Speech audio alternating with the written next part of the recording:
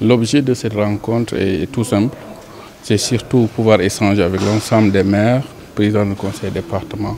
pour pouvoir voir dans la mesure du possible, après bien sûr la mise en œuvre du, PAP 1, du PAP 2 et actuellement l'élaboration du PAP 3, voir qu'est-ce qui a été fait, qu'est-ce qui reste à faire, quelles sont les disparités qui existent aujourd'hui et comment faire pour vraiment faire des réagissements au fur et à mesure. Pour voir et dans l'immédiat, quelles sont les choses qu'on pourra mettre en œuvre pour ajuster les choses. Donc euh, ça a été quand même une réunion très très intéressante en ce sens que beaucoup de maires et présidents de conseil départemental étaient présents, mais aussi dans le cadre des échanges aussi, ça a été quand même des échanges plus ou moins inclusifs où tout un chacun a donné euh, euh, des points de vue, mais aussi a donné des préoccupations qui nous semblent très très intéressantes dans le cadre de la mise en œuvre prochaine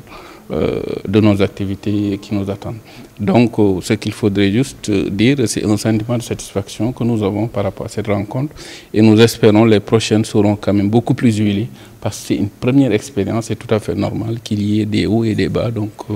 des réagissements que nous ferons au fur et à mesure.